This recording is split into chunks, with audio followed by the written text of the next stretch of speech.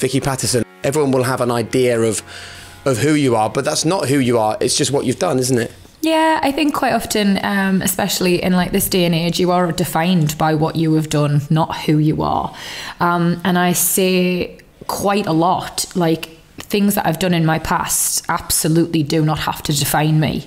Um, as human beings, we're under no obligation to be the same person we were sort of five years ago, five months ago, five weeks ago, even five minutes ago. I am that fickle. so, no, I, I think um, evolving and growing and all the rest of it, like it's a huge part. Um, and I appreciated that lovely introduction. I hope I don't let everybody down now. Ah, you certainly won't. Listen, we always ask the, the same question to every guest. The first question, in your opinion, and this is not for, you know, often people try and caveat this as well for me or, well, I'm not really sure. This is purely for you. What is high performance? What do you feel high performance represents? So for me, if I was to consider like having a real oh I just did what you said everybody does as well that's just just own it Vicky so own sneaky. your definition of high performance yeah well high performance is um, no so I think when I've had like a really good week and I consider I've had a very high performing week I've smashed my work goals you know. I've managed to maintain good relationships with both my colleagues my agents everyone who i work with in that space. I've gave a good amount of time to my friends and family. And ultimately i feel happy and content and i go to sleep at night. Like that is a high performance week for me when i'm happy and content and i know i've done my best I love that answer, actually, Damian, because I think that there are still people that see this podcast from the outside and think, oh, it's about winning a World Cup, it's about being a billionaire, it's about owning a business, it's about being a, an entrepreneur or a founder. But actually, Damian, this podcast is about the world class basics that we can do every single day that simply just make us feel content and happy. That that definition from Vicky is really, I think, summing up what this podcast actually is about. Definitely. I think high performance is high performance on your own terms, wherever you start from, and, and uh, your own definition. In terms of the answer that you gave, Vicky, I'd, I'd, I'd ask you a question that readers of your new book were, uh, might appreciate it, but what number would you give today then? And would you explain that coding system? Um, yeah, but also before I explain it, I'm going to hold my hands up straight away and say I can't take any credit for it. Like it's my lovely life coach's kind of, it's his technique. Um, and I found it invaluable actually, especially in the last couple of years. Since lockdown, weirdly enough, I've made a lot of changes in my life, um, and sort of wanting to be able to have more balance was like right at the top of the list of things I wanted to change coming out of lockdown. So I used to think in order to be successful, every single one of my I used to have to kill myself basically I used to think, coming from the place I've come from, if anyone was going to take me seriously, I had to be the first one there. I had to know everybody's name. I was going to leave last. I was going to be respectful, polite. And I was going to do that every single day. There was no place for days off. There was no place for lateness and all of this. And like, I truly believed it. And actually, it's so counterproductive to to have that train of thought. Like all you do is burn yourself out. All you do is lose the love for anything that you are originally passionate about. Um, you become resentful. You slip because we're all human. We can't go on like that forever. So. Bill, my life coach, he taught me about numbering me days. And basically, those days that I just described to you, you know, getting up in the morning, doing breakfast telly, going straight from there to radio, from radio to a record of something else, from that to a big event. You get home, 12 o'clock, you're knackered, your feet hurt, you're tired, but you know you've had a great day, you've smashed it. That is a number four day. It's high octane, it's stressful, it's big. You are getting like, you're getting a buzz from it. It's amazing, but it's hard. It's hard going, and you have to take that into consideration. And then after that, you've got your day threes. So that is, say, like a couple podcasts. Maybe you're on Lorraine. Um, you might have like a little photo shoot in the afternoon. Still quite stressful, you know, but not non-stop pressure, pressure, pressure. But it still takes it out of you. Then your day twos. Maybe you don't leave the house. Maybe you've just got some Zooms in the morning and a podcast in the afternoon. You fit in a nice dog walk. Bob's your uncle, Fanny's your aunt. It's a good day. But then you've got your day ones, and these are the days that I absolutely live for. And they are like days where you turn your phone off, you have a digital detox, you watch like back to back Emily in Paris, which again I'm sure is not something your listeners normally watch. But Oh, lads, don't you worry. give it a My wife, my wife was in bed the other day. She went, I don't believe it. It's only 10 episodes. I've got to the end already. she went through Emily in love her. Paris like a hot knife through butter. Yeah. We've all, we've all been there. I quite liked it as well. It's just so romantic. We've all got it, didn't we? Um, but no, and like you da- you wear face mask and you play with the dog and you just give in to all of the foods that you haven't been eating that week and all of the things you probably haven't been doing and you just totally chill and recharge. And that is it is important in life to have a mixture of these days. If when you it comes to having a number four day, you're going to be the best, bright, shiny, positive, brilliant version of you. You can't do it if you haven't had your number ones. So. To answer your question, today was meant to be a number one, but more often than not at the moment they tend to fall in. They tend to just squish into the number two category. So it's it's been in, in a surprise number two, but I've loved it nonetheless. Can we talk about the the journey from where it all started to sitting on a high performance podcast, talking about numbering your days and success and commitment and hard work and all the things you're discussing? Um, because you started this podcast by talking about the fact that we all change, we all grow all the time, everything's a journey. I'm really interested to know when the big change happened for you. Um, and you talk in your book, and it is a really interesting book. I'd encourage anyone to read it. You talked about the fact that from the outside, when you were kind of coming through and you were on Geordie Shore and everything seemed great and you were like emerging as a celebrity, horrible word, but that's what was happening. You actually weren't authentic and you weren't good to be around and you weren't really enjoying things. Like, when did you decide that that was not the Vicky Pattison you wanted to be and that actually this, what we're seeing now, is, is where you wanted to get to? Um, I th- the change in me from being like this young, really excited girl who was plucked from absolute obscurity and put on a reality TV show um, into being like the Vicky Pattison people saw on Geordie Shore happens so gradually that initially I didn't notice and I got really swept up and carried away with it. You've got to think I was like early 20s and I was so overwhelmed and, and just did not have the tools at all to navigate the new the new politics of the world I was in. And that feeling of like powerlessness and being out of me depth, it manifested itself in some really ugly traits. Um, and I became defensive and aggressive and angry. And even more than that, like I became this caricature of what I thought everybody wanted. This really bolshy, Geordie girl. And like, don't get us wrong. There are elements of me definitely within that person we saw on that show. Christ, I'd be lying if I said, you know, I'd, I, I haven't got a like, quick tongue and a bit of a temper sometimes. But I lost myself totally. And like I say, it was gradual, but there was some pivotal moments um, where I realised I was basically sacrificing respect for attention. Like what, for example, Vicky? Um, so, I feel really bad saying this to two fellas, but like I don't know why. Um, I had sex on the telly, and it's not anything that anyone doesn't know. Um, I've talked about it candidly for a while now, um, but it took us a long time to be able to discuss it because it was so out of character for me. I didn't grow up in a naked house. Like I grew up in a house where like you went in the bath and like you got dried and then you put your pajamas on and then you came out the bathroom, you know? Like we weren't striding around the house in your towel type. So I was a bit of a prude. And like I knew everyone else on the show was doing it and I kind of felt pressure um, to be that person. And um, it drove a huge wedge between myself and my mum and she is a huge inspiration to me and one of my best friends and a really positive influence. So that that in itself was was really traumatic. Um, but also, like, I got a lot of stick, I got a lot of abuse, I got a lot of grief, um, and it, it was really difficult to undo that once I'd done it. To be seen as something else once I'd been seen as one thing. Yeah. And sometimes I still think, you know, doesn't matter how many jungles I'm the queen of, and how many kitchens I smash, and how much charity work I do. To some people, I will still be that person.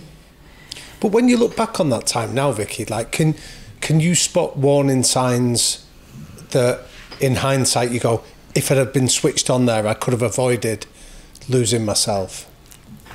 Yeah. Yeah. Like, I think, so in my opinion, I'm 34 now, and I was 22 when I first got found for Geordie Shore.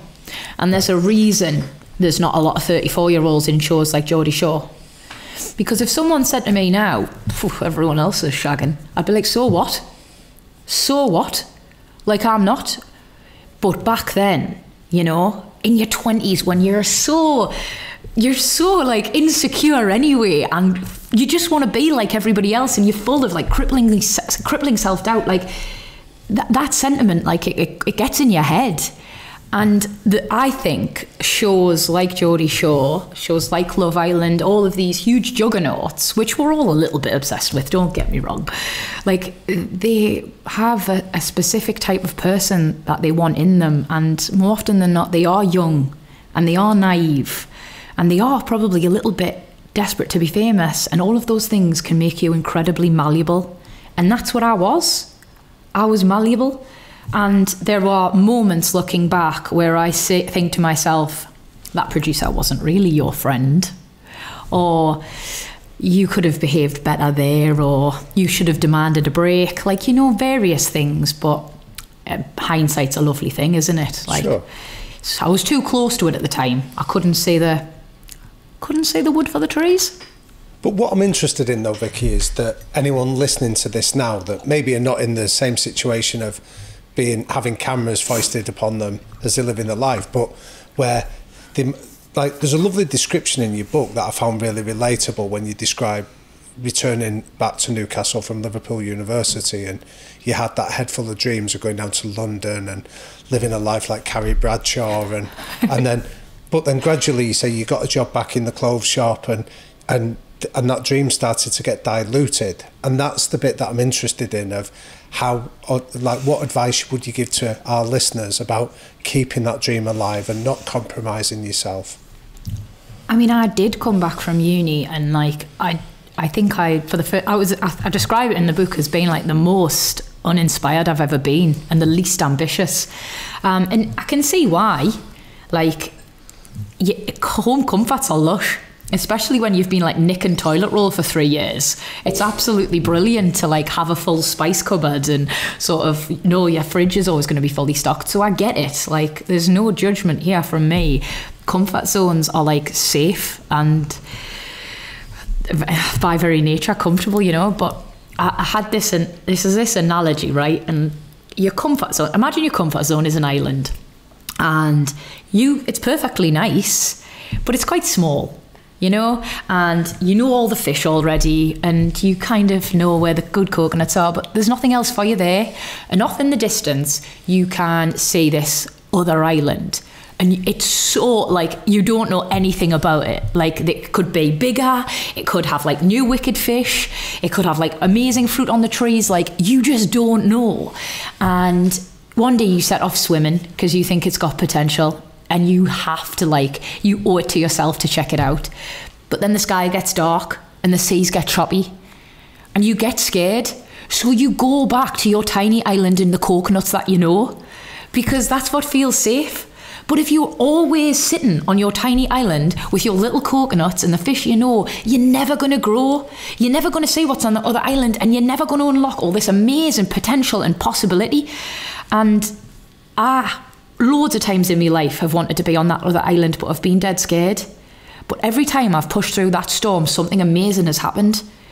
And it's dead easy to go back to the little island because I've done it loads as well. And I'd, again, like I, I'm not having a go at anyone who's happy there, but fuck me, when you do eventually get to that next island, it's absolutely class, and everything you thought is actually on it. So I would just say to people, push through the storm, man. and what are the tools that you use to push through? Because look, we're proud of the impact this podcast has had, but it's not about listener figures or any of that sort of ego related stuff. It's the messages we get every single day from people who say that they're lost or they're struggling or they've got issues in their personal life or they're not sure which way to turn. Or the biggest one is they know where they want to go, but the fear is what's stopping them. What are the tools that you found worked for you for, for just taking that leap and being brave and bold? Um, so you have to like you have to love yourself. Like you have to properly believe you deserve everything it is you want. And that is really hard to do because I don't think eh, like I don't think we're I don't know, it's just so hard. It is really difficult to get into that mindset of respecting yourself and putting yourself first and making your goals a priority and all that sort of stuff. But the minute you say to yourself, like, I deserve X, Y, and Z, a partner who loves me, someone who respects me, a job that makes me happy, a nice house, whatever it is, like you switch your mindset and things certainly like suddenly become more achievable. And like I sent, I think it's probably manifesting in a way, um, but like that that to me would like that to me was a huge game changer. Like in my 20s i had such low self-worth. It's why i did a lot of the things i did surrounded myself with the people i did um, and compromised who i wanted to be because i didn't have much respect for myself. But as i got older i, I wanted more for myself. And i found out like the more time i invested in me the better things came does that, So what sort of? that right? I mean, I mean that's a brilliant answer. So again, I'm thinking about the translatability of it. So, like, what was it that you did? Where did you go to? Who who did you seek out to to help you formulate those questions? Oh, loads of people. God, if anyone thinks I just woke up one day and changed from like Vicky Geordie Shore to this person, they'd be absolutely mental. Like, I have therapists, I have a life coach, I have a brilliant relationship with me mum. I've got like the same group of mates I've had since I was about 12 years old, them lasses, and they're constantly there for us as a brilliant soundboard. That not only helps keep me realistic and humble, but also it's like my biggest cheerleaders. Um, I've got a personal trainer who honestly is more like a therapist, bless him. He has all of me woes, so I get a workout for the mind and the body whenever I go and see him. I've got the biggest support structure of people around us who have who've helped me realize all these things. Which leads us then to to discuss a technique that again you describe in your book, The Secret to Happy, about compartmentalizing people into into into three types. You, I'll let you describe it because I think I think it'll be a really helpful understanding of how people can maybe think about their own their own circle. Like there's that saying, isn't there, where it's you, you become the five people you spend the most time with, or you become really like them. And I don't know if it's true or not, but like it kind of makes sense to me. If like you're surrounded by people who are miserable and negative and always whinging and think the world owes them a favour, like it's gonna rub off on you. It absolutely is. So if you surround yourself by with like positive pigeons and real high achievers and people who just love life, that is gonna rub off on you too. So yeah, I think how you spot these people. And again, I can't take credit for this. I'm coming across as such a thief on this podcast. Like, I just steal everybody's good. great ideas. That's the idea. There's no such thing as an original idea, by the way. We're all learning from everybody else. I like that. It makes me feel less guilty. Um, but yeah, I steal all my stuff from Damian. He's a professor. He's a professor. I'm a former kids. TV presenter. Right? There is a serious disconnect there. Oh, but you complement each other so well. um, so yeah, I uh, right. So there's three types of people in life, and there are, and you can work out who they are by how you feel when they ring your phone. Um, so you have people who, when you see their name like flash up on your display screen, you think, "Oh, for fuck's sake!" you know, like, and you know, like, as I've said this to you, everybody listening to this will know that person instantly, um, and it's the person who you know they're ringing you probably because they want something, or because they want to have a whinge. Or because like they need a favour, they need you to get you into this nightclub, or they want you to look after their kids. They just want something from you, and you never feel like it's a two-way street. Like you don't mind picking up your pals who are always there for you, but this isn't that person, and they are called the draggers. They are like if you said to them, "Oh, I'm thinking about um, starting a new diet. I'm going to try and be really healthy 2022." They'd be like, mm, "What are you going to do that for? You'll only end up you'll only end up ruining it. You'll only end up eating loads of cake." And I think, right, okay, you are a negative influence on on me. They are the draggers. We don't want those in our life, really. Okay. Next, you've got like the middle of the roaders. So when they ring, you sort of think, hmm should I answer? Should I not? Okay, I'll give them. You know, I'll, pick up. They don't set your world on fire. They're perfectly nice. Like if you said to them, "Oh, I'm going to try and eat more healthily," they'd be like, "Good for you. Good for you. You can do that." But they're perfectly pleasant. We shouldn't like we shouldn't be dismissive of them. Their hearts are in the right place. And then you have the igniters. This is who we should all strive to be. The kind of person that when you see their name pop up on your on your screen, you can't wait to answer. You grin from ear to ear. Your whole body fizzes with excitement because you know they're ringing with something. Let's go on holiday. Well done for this. I'll eat healthy with you as well. They inspire you. They lift you up. They make you, they make you buzz like an old fridge. You're just fucking thrilled that they're in your life. And I feel like those are the people who you should have around you. As, as much as you can, and I know they make you buzz like an old fridge. I mean, I like that one. Yeah, thank you, but that is, that is it, and I know we can't have a life filled of, full of igniters. You know, we can't have a friendship circle full of them. Like potentially that might be quite flammable and dangerous. But the rest, like the majority of your friends, your your close circle, your colleagues, whatever, they should be those type of people there's so much to unpack there. I mean, when I when I originally read it, I I was reminded of the work of a guy called uh, David Kantor, who's a psychiatrist that that studied sort of group dynamics. And what you might be interested in, Vicky, is that um, his work was used to create the four main women characters of uh, Sex in the City. Honestly. So, yeah, so he talks about like he uses a slightly different language than your igniters and draggers and middle of the road. As he talks about, uh, you have initiators, are your igniters, you have blockers, are your draggers, you have the fourth group are the detached; they mm-hmm. just don't care. But then the middle of the roaders are what he calls um, the. Um, sorry, I forgot the uh, the adapters. Right. These are people that can be influenced either way.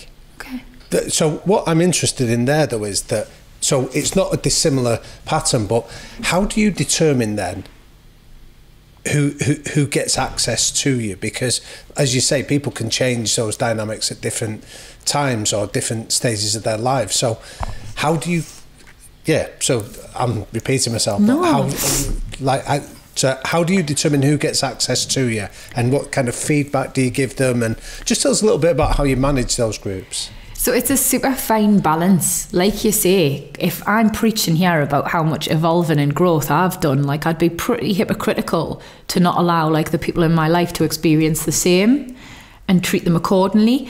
Um, and also like I'm loyal as a dog. So I give it the biggin about cutting people out of my life, but actually like I'm very soft and soppy. And I tend to just try and get a little bit of distance between me and people who potentially aren't good for me.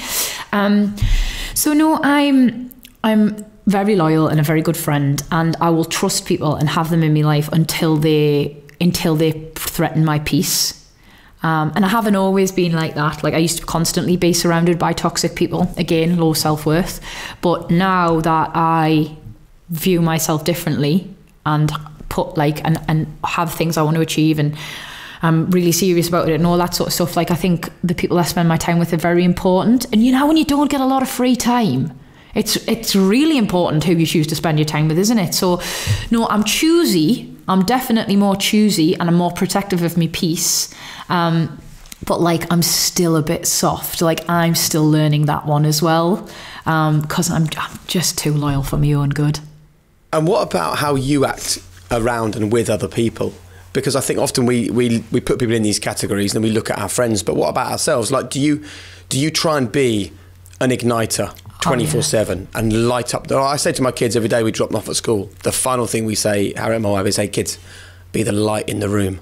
And I ah. guess that is like the igniters, really. You know, I want them to be the ones wherever a kid goes, I want to sit next to Seb and Flo in the classroom, you know? no, but like I'm sure they do, and and that like I always endeavour to be an igniter. You know, the type of person who's like, "Oh my god, you're pregnant! I'll throw you a baby shower. I'm so excited," and like whatever it may be that my friends are going through, I'm their biggest cheerleader and always their shoulder to cry on. Um, I always just want to be the friend I'd want to have. That's who Nice. I endeavour to be. So, yeah, I'm an igniter most of the time, but I still have me down days where it can be a right pain in the arse. This um, this conversation sort of keeps on reminding me of something we talk about often on this podcast, Vicky, which is fault versus responsibility.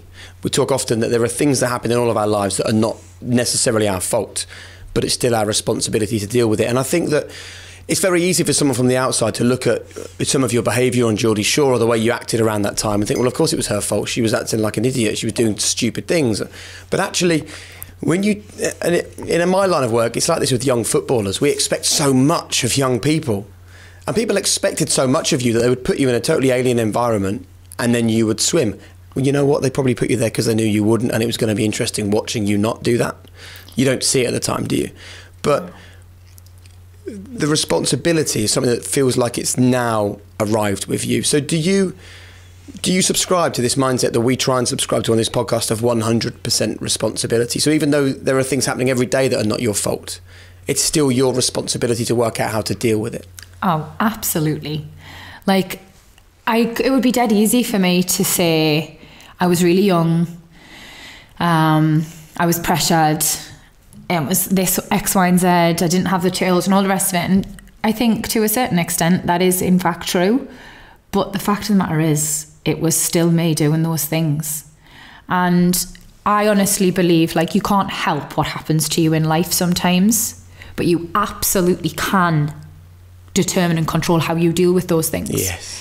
So for a long time, I didn't cope with them well. I didn't deal with them well. I didn't have the tools to be this better person. Um, but now, yeah, I, I do have them. And I am still paying for a lot of the mistakes and things I did back then. Um, but In what way? so I think it's really hard for someone from reality TV to try and transition into a different space and be taken seriously. Um, I always use this analogy like I- of David Beckham trying to be an actor. And like I feel really bad because I liked him in that Sword and the Stone film. I thought he was great. and he only had that one line and I thought if that was anybody else, nobody would have batted an eyelid. He would have just been like cameo. But because it was David Beckham, everyone was ripping him apart and I thought why can't David Beckham be good at more than one thing? Why did he just have to be a footballer? Why like why wouldn't you give him that chance, you know? So it's kind of similar. There's this like almost like a misconception um, that if you're on a reality TV show, you are talentless, unintelligent, vapid in some way. And like, there's been loads of things that I've wanted to do. Like, I wanted to do the jungle for years before I was given a chance to do it, you know? And I had to fight, I had to break down their door. um, and there's loads of other stuff, you know, shows I've wanted to do, places I've wanted to go, books I've wanted to write, and that I have had to fight for because nobody thought a girl from Geordie Shore was capable of that. And I still want to do other things. So I'm still trying to break down like those kind of misconceptions and preconceived notions of me and reality TV stars in general to make it possible. So I think I do still pay for my behaviour a little bit, but at least I own it.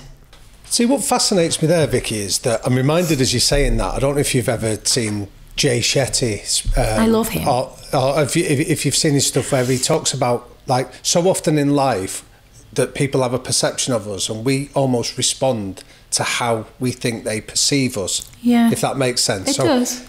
So, how do you not act down to the preconceptions that you that you that you're assuming people have of you? How like how do you break that cycle? I like to surprise people, me. I like to shock people. Um, I think uh, they can have any idea of me they want. Anyone can assume whatever they like about Vicky Pattison, you know? But, and, and you can dislike us even. I, I'm, I'm not going to please everyone, you know? I can't, it's not possible.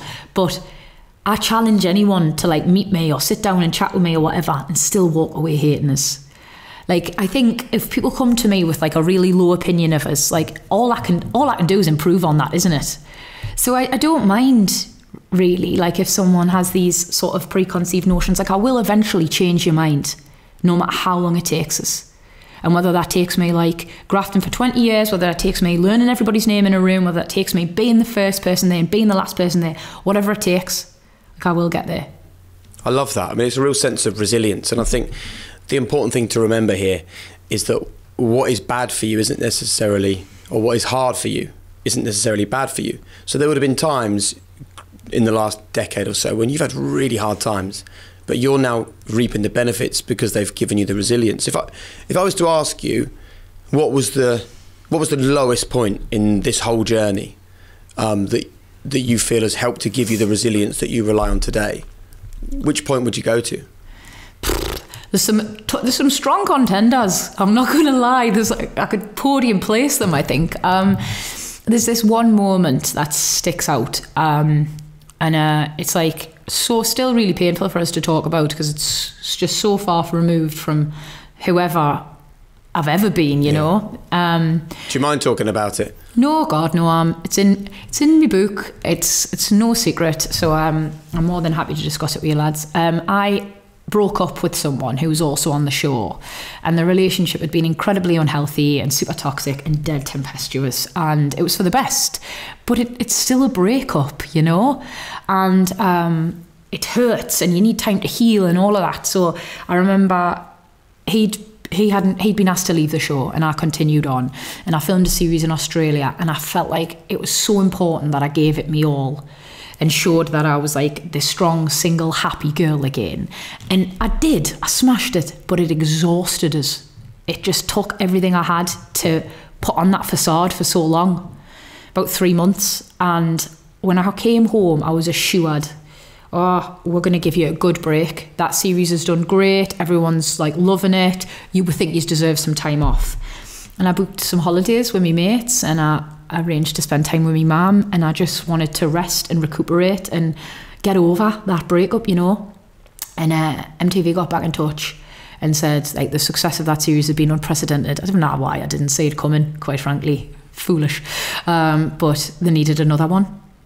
And I said, oh, you promised us I could have time off. I've got holidays booked and I wanted to do this and X, Y, and Z, and I, I need time. Like, this was before, you know, we were all saying my mental health is bad. But basically, that was what I was insinuating. Um, and they just were like, that's fine. Take your time off. It's all right. We'll just replace you. And um, I know. And I was so scared. Like, now I would say, well, go for it. There's only one Vicky Pattison. But, you know, and like then I was like, oh, well, I'll come back and I was in the worst possible place. And I was like as close to broken as I've ever been. Just knowing that they thought so little of me, having like broken up with my ex, like all of these things, or like catching up with us. I was exhausted, I was drained, I didn't like my body, I was drinking too much, all of these things. And um, I got into a big fight in a nightclub, and uh, I I hurt somebody, and it was awful. And um, I had a, a really long six month court case that ended in um, ended in us getting community service and all these sort of things um, that I really deserved. And um, after that, like I was asked to I was asked to leave the show for a while, and I had a, I was trying to like work like I just was so lost, you know, like I was so angry because I thought I knew something like this was coming. You knew something like this was coming, Vicky. You didn't know what it was, but you knew you were at breaking point and you allowed yourself to be pushed into a situation that you knew you weren't comfortable in. And that was like a huge, the lowest I've ever felt in terms of like, feel like self worth, career, being lost, being powerless, feeling like I actually hated myself actively because of what I'd done. Um, and also the most confused because how could I go on working for a company that put me in that position and then when I was there just hung us out to dry? So that's the the big one, I think, lads. And it's still clearly still painful today. Yeah, like how do you get over that? You know, yeah. like I was like front front page of loads of papers and. I was a monster and I was this and I was that and I was everything that was wrong with today's youth and what hurt us the most is that was a part of us that absolutely agreed. So, if you were in that position now, then, Vicky, mm. what would you do differently, and when would you do it differently? Um, if I'd have asked for a break, I regardless of what their answer was, I would have took it. If I knew I needed it. Like even today, I caught myself before, babe, like being a little bit stressed this afternoon, thinking this was meant to be a day off, Vic, and it's not a day off anymore, is it? You know? And I thought, I'm going to message my agent and just say, I need some time off next week. I'm starting to become like not a great version of me. And I don't want to sit and have amazing opportunities like this, but not be in the right place for them. Like, I don't want to be successful at the detriment of my sanity and health. So, what would you do though if if somebody still gave you that same message of, you know what, Vicky, we'll replace you. Don't worry, don't do it. We'll get somebody else to take on. How would that be processed differently for you today than maybe ten years ago? Um, don't don't get us wrong. Like, it would still hurt. I think hearing that you're replaceable is such a cruel thing for anyone to say, and I'm, I'm such a fanny. So yeah, it would hurt. I'd I'd be sad, but I've got more respect for myself and like more confidence in what I'm building and who I am and what I bring to the table than to, you know to be like oh god okay sorry let me do it and fall in line. I'd say well go on fill your boots. You this was a mistake. Um, but I'd be scared. I would be scared. I'd be sassy but scared. Right. and it's it's a it's a great place to get to to be able to make that decision because it's so hard I think in the modern era particularly with social media because you'll go on there and see everyone else having their revealing their edited lives to you and showing you how great everything is and one of the things I really like um, and when I knew we were interviewing you, I started to follow you on Instagram. I really love like the, the honesty. I just I'll share a little bit for people that listen to this podcast and don't follow you, you you put out a social media post saying that you were going to wake up and it was the start of 2022, everything was going to be great and fantastic, and then you say you actually were a bit scared, you didn't feel like yourself, and then this really nice bit here. You said the urge to keep this to myself, pop on some gym gear, and jump on Instagram with some quote about this year being my year, acting like everything was fine, is almost too strong. And you know, I think particularly for parents like us with very young children who are not yet in this world of social media and Instagram, it's scary and it's quite worrying for us. What advice would you give um, for how young, how anyone actually can protect themselves on on social media, a platform where we're comparing our own lives to other people's edited version of? There's a saying that I wasn't allowed to use in my book because it's somebody else's and they're very precious. And I don't blame them because it is a good one. Um, but it is like, don't compare your behind the scenes to someone else's highlight reel. And I, I don't think it was created for social media, but it's there's just never been a better way to describe it. It's so apt. We are constantly bombarded with unrealistic images of perfection. And um, for a while, like I completely was suckered in. And even worse than that, I perpetuated that culture, which I've grown to hate. It's easily done, but it's so toxic. And I couldn't even keep up with it. You know, the, like the pressure I was putting on myself to be something I wasn't. And I was like well in my 20s. So I do worry about like young lasses and young lads coming to these platforms and thinking everything they see is as is, because it's not everything's filtered. And everything is this carefully curated glimpse into somebody's life. They're showing you what they want you to fucking see. They're not showing you their bad days, their breakouts, their periods, their hangovers, the days when they just can't bring themselves to look in the mirror. Like they're not showing you any of that. They're showing you the highlights. So take it with a pinch of salt and don't be afraid to block people who threaten your peace. I block people all the time. It's like up there with one of my favorite things to do. I like sneezing and I like blocking people. This is like in terms of free things, by the way. So, all right, so so I want total honesty. Then, do you still apportion um, any self worth or any self confidence to the likes you get on social media or the comments going, "Vicky, you look amazing today"? Ooh, right. Ah Oh, I feel like I, this makes me feel like less of an evolved person, but the answer is definitely yes. Mm. It's so hard when such a big portion of my life is consumed by it. It's how a lot of how I make money these days, you know. So, uh, it's difficult to not be obsessed with it to a certain extent. But I do have certain practices put in place to try and stop us being like stop my self worth being so hinged on it.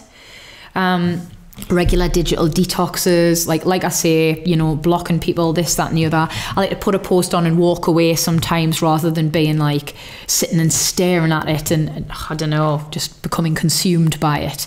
Um, so no to answer your question honestly it's a bigger woman than me who Yeah. hasn't who's got the hang of social media totally. Not- I don't think though that anyone that says, "Oh, I don't care about likes and shares and positive comments," I'm not sure that they're telling the truth because I think that if you actually look at it, all that is is a reflection of society. If I said to you, "Do you like it when you go to a party? People say you look good." Well, of course you do. Do you like it when you go to a, an event and everyone wants to take your photo? Of course you do. Well, it's exact. It's exactly the same, but uh, Instagram is just like a digital version of that.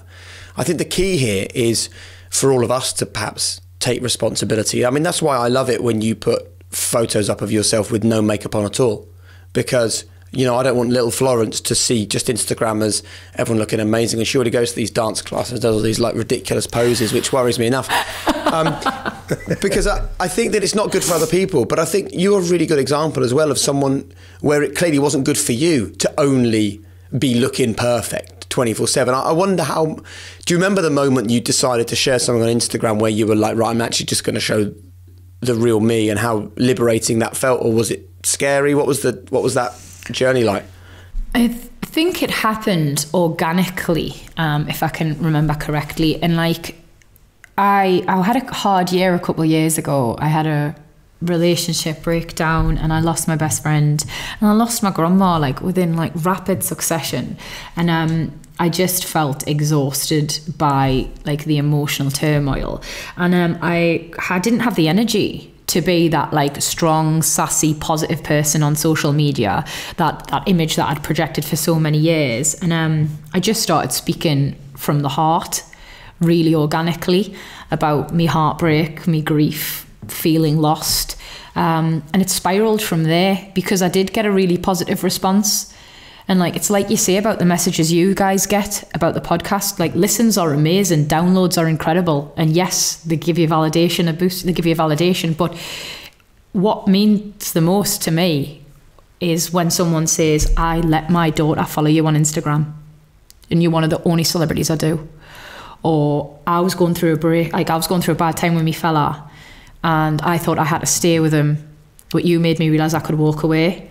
Like this sort of thing. And, and that's what happened off the back of my makeup free posts, my honest posts. And I suppose I got addicted to that feeling that I was actually doing something with my platform.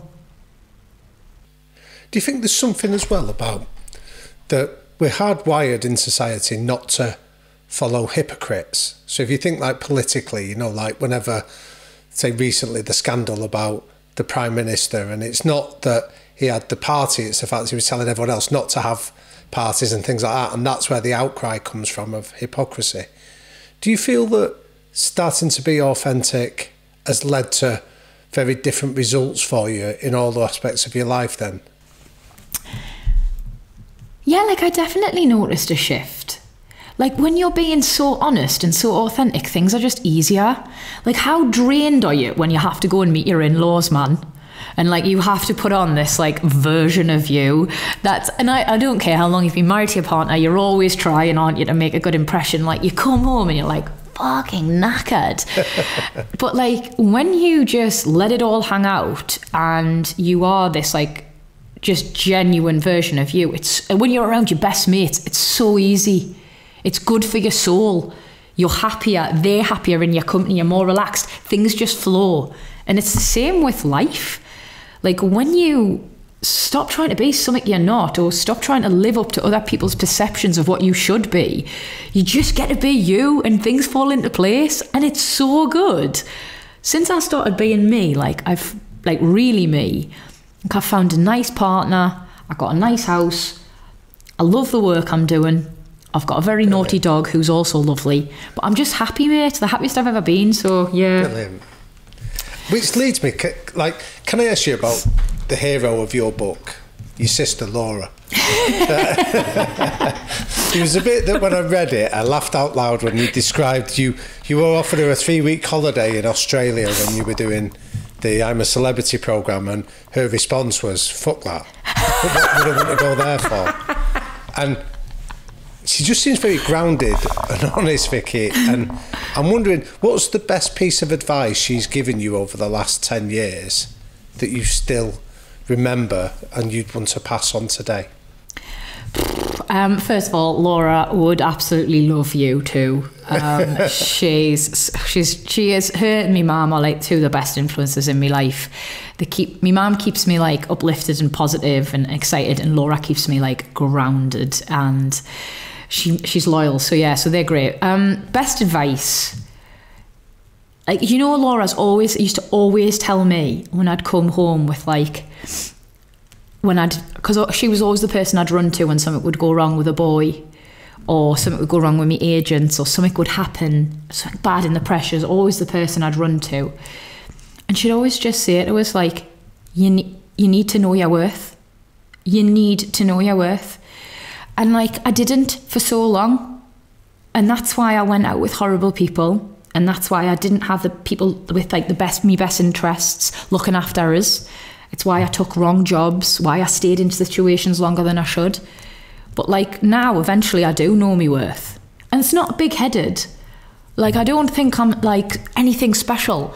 I just know who I am and what I'm not willing to put up with. And subsequently, everything in my life is like healthier for it relationships, work, professional ones, everything. So, yeah, Laura does really know our stuff, but I hope she doesn't listen to this and get a big head. so if I said to you, who is Vicky Pattison today? What answer comes back at me? Um, I am a. Oh my god, that's so hard to answer. So, like, if I was explaining it to like an alien, who I am. um, Maybe. Okay, I am a TV star, an author, a kind of modern feminist like I'm not burning my bra or anything, but I really just want ladies to be happy doing whatever it is that makes them happy. So I think that makes me a feminist. I'm happy, comfortable, confident enough in my own skin, um, and I'm not finished growing and evolving, but I'm dead happy with where I'm at right now. Is that a good answer? It's a great answer. and the, the, the bit that interests me though is the evolution still.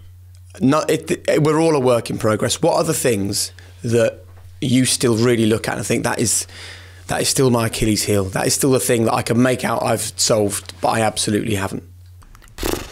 Like I, had this ex-boyfriend who always used to say to me, "You think everyone thinks you're Vicky from the jungle, but I know you're Vicky from Geordie Shore."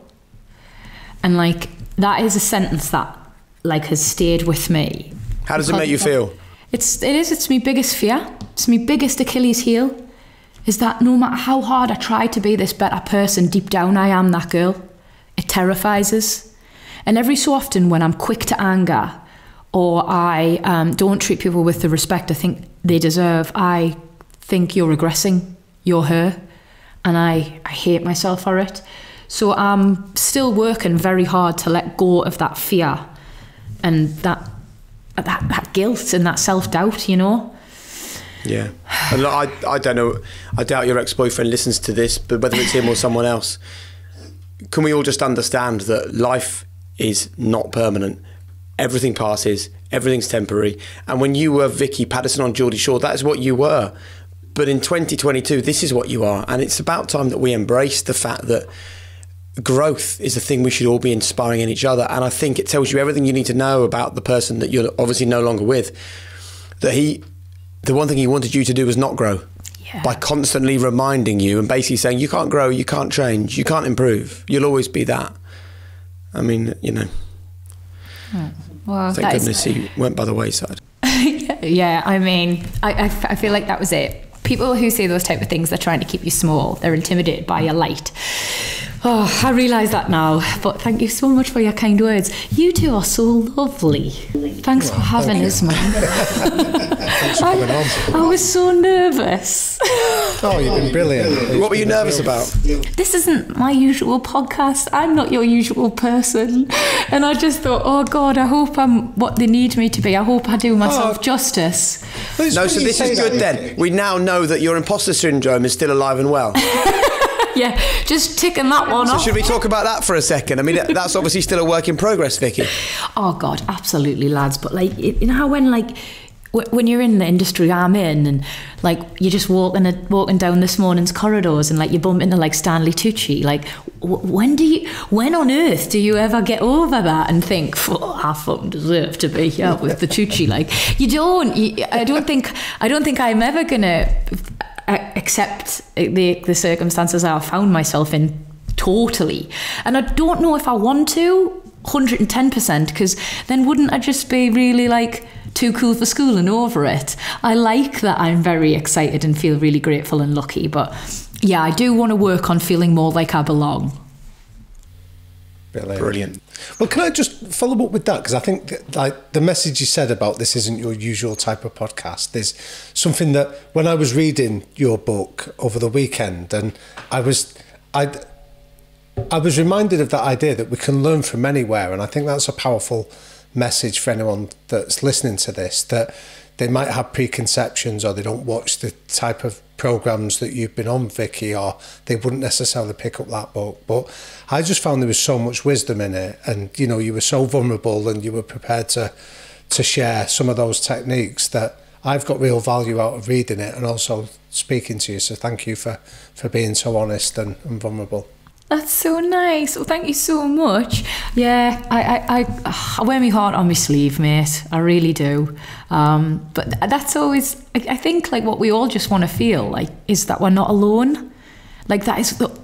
I, whenever I share something on social media that I've been a bit nervous about sharing, whether it's like makeup free or super emotive, or like really honest, like when you share and you're it's get all I all women want to feel like and men for that matter is that we're not going through things on our own. We're not the only one who doesn't have it figured out. So that was the whole point of the book. I wanted to show it's okay to have a grazed knee and a bad chapter and a mistake because it's all part of life and you're not the only one yeah Brilliant. We're all a work in progress, hey.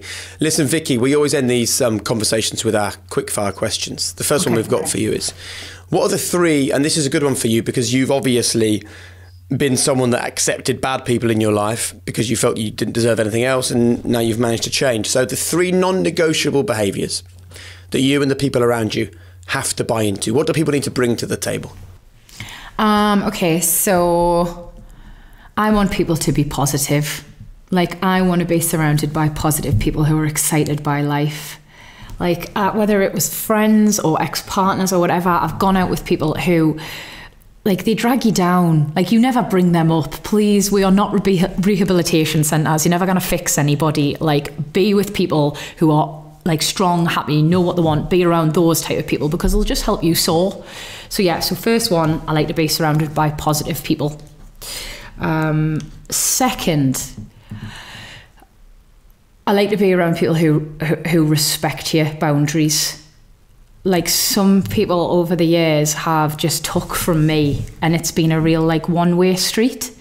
And because I think you accept the love you think you deserve, when I potentially wasn't valuing myself very highly, like I allowed those relationships to go on far longer than they should. And um, again, like you know, I I never came out on top I never came out having made someone else better. I was always just broken by the end. So yeah, people have to respect your boundaries and you. Um, and finally, I'm um, extremely neurotic. I don't know if you've noticed, I'm a little bit. Um, uh, so it's very nice to have people in my life who bring a bit of balance sometimes. Um, my partner Ercan uh, is very secure, very calm, and very kind. And for years, like I just thought I needed these like really toxic, loud alpha male types in my life if they were going to handle all of Vicky Pattison. Just, just such bollocks. Because more often than not, the loudest man or woman in the room is often the most insecure. So I've found for my personality, for who I am, people who are balanced, kind, calm, supportive, they they work really well for me. So yeah, balance is the final one. If you could go back to any moment in your life, what would it be and why? Um, it would be, it would be the, it would be that moment where I told MTV I needed a break and I would take the break. I know there's loads to be said for, you know, the butterfly effect and would I still be the person I am now if I hadn't done it, but I just can't forgive myself for the way that played out. So I would have saved myself a lot of tears and I think I saved up my family a lot of heartache as well and that poor person. So yeah, I'd go back to then, mate. How important is legacy to you? Ooh, I've never thought of that. Um, I always say, like, I want to be remembered for the way I make people feel. So I suppose maybe I have, really. Um, I don't care how many followers everyone remembers I had, or like how good I looked in a bikini, or like what what TV shows. I don't care. I care that people say she made me feel good about myself. She was kind. She was nice. If it's me friends, like I want them to say she was a great friend and I loved her. If it's someone who follows us on Instagram, I want them to say, "Oh, she made me feel better about myself. She made me realise that cellulite's okay." That that that's what I want my legacy to be. What's the biggest sacrifice you've ever made for high performance? It was a misguided sacrifice. Um, I think. Um, but like one that was necessary, I suppose. Um, I kind of had to sacrifice my privacy. Um, the very nature of the beast that is reality TV is that no element of your life is off limits. Um, and even though I haven't done it, that, that genre of TV in its purest form for quite some time, mm. like that was all I knew in my adult life. So it skewed my opinion of what is normal to share and what isn't. And subsequently, I'm like this, like unhealthy oversharer all the time. Um, and like even now, I am in a position where my life could kind of be my own if I wanted it to be. I still don't really understand the boundaries of it. So yeah, I so, suppose that. So would you do it again? I mean, I'm so grateful for where I am now. It's hard to say no, and I really like who I'm becoming. But at the same time, if I could have got here via any other vehicle, I would have I would have chose something else. Very good. And our final question, and um, look, yeah, we get a lot of um, sports fans and business CEOs and leaders listening to this, Vicky, but we also get loads of parents and an incredible amount of school teachers that listen to this, and they're just desperately trying to pass on lessons they've learned and affect the next generation in a positive way. And our final question to you is: What is your one golden rule for being a high performer. And I guess in many ways, it's just your kind of your final message really to those that are listening to this from the highs and the lows and the lessons that you've learned and the, the days that you've stumbled and struggled and, and you've still managed to get back up. What would you like to leave people to think about? I would just tell people to start putting themselves first, which sounds like such a selfish note to end on, but we have to break that mindset. Like, putting, like, again, not my analogy, but two people I really love told me this once. And it's like, you know, when the oxygen mask drops down on a plane and they tell you to put it on yourself first, and your instant reaction is to save the people around you. F- fair enough. You're a great person for that. But you will only save the person to your right and the person to your left. If you put your, your oxygen mask on, you can save that whole plane. And like, I think that's who I want to be. Like, I want to look after myself and be the best version so I can in turn pay everything forward. Like, you can't be the best mother, the best CEO, the best brother, the best sports person if you're not looking after yourself first. You can't pour from an empty cup. So, let go of the idea that looking after number one is in some way toxic or selfish and start doing it. Thank you so much. I mean, uh, it's been an hour in the company of an igniter, hasn't it, Damian? Definitely. I feel energised on it already. So, so you've already had an impact. Yes, Damian, come on then, son. I'm so happy about that. That is a really big compliment. Thank you so much, guys. Amazing. Thank you. And Vicky, honestly, really appreciate that. You know, there was no need to be nervous, was there? Because I think this is a, this is actually perfect because it's a reminder to people that they can they can learn something from anywhere. You know, we had Susie Ma, an entrepreneur, on here saying that she watched a Disney film and she learned something from Disney. I mean, whenever I say to people, "I'll just do the next right thing," I keep thinking I'm quoting Frozen. This sounds ridiculous, but there is some strength in that. Just doing the next right thing can sometimes be good, and I, I really hope that people will look at this and think, Vicky Pattison, high, high performance. Mm. And by now, they will think, yeah, you know what? This is a great reminder that we all have journeys and we all have lessons to impart. So I thank them for coming and listening, but I really thank you for coming and sharing. Oh, well, thanks so much, lads. Today was like a prime example of me swimming through the storm to that next desert island. And I just want to let you know your coconuts are bigger. Never been told that before. Please hit subscribe, hit the notification bell, give us a thumbs up, leave a review, but somehow get involved with the High Performance Podcast and become part of our growing community.